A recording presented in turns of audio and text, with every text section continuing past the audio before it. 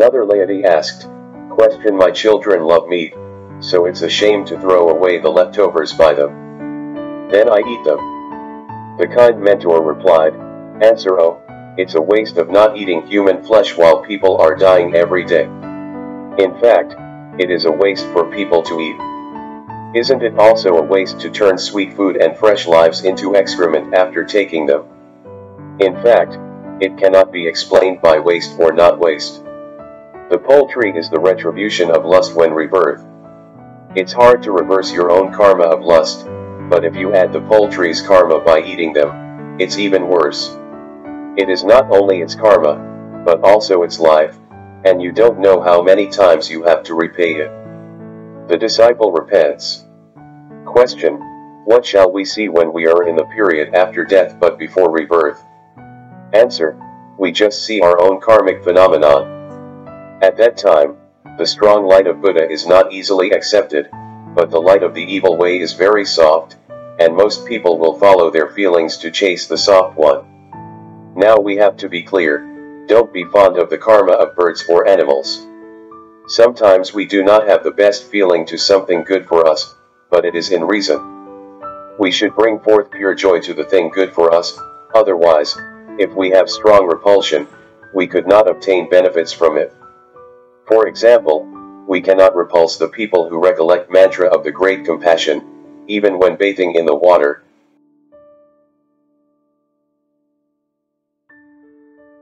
They can endlessly benefit the fishes and prawns while we have to be repulsive to the realm of beings. Question Is it workable for me to practice visualizing my parents, children, and relatives worshipping with me while I am worshipping to the Buddha? Answer, it is useful to practice contemplation.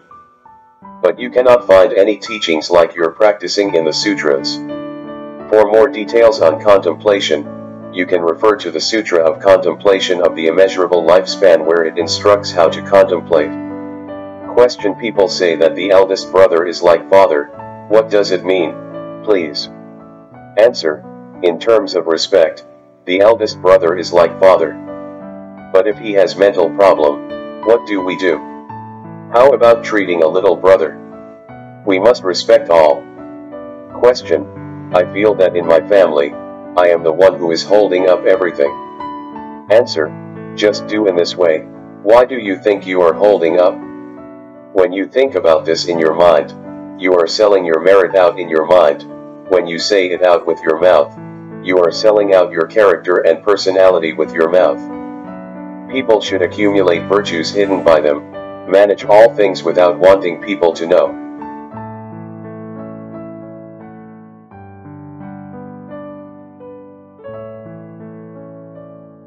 One who speak out their merits and virtues to public is a person with less hidden virtue and will go downfall anytime. It's your job and your duty to serve your family and your people.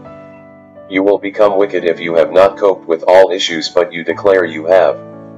If you keep the other's faults in mind, you will become a person with those faults and become more and more miserable. Question, I think I am generous. Answer, it depends. Under a certain circumstance, you will reveal who you are. Have you won the hearts of your family? Have you won the hearts of your company?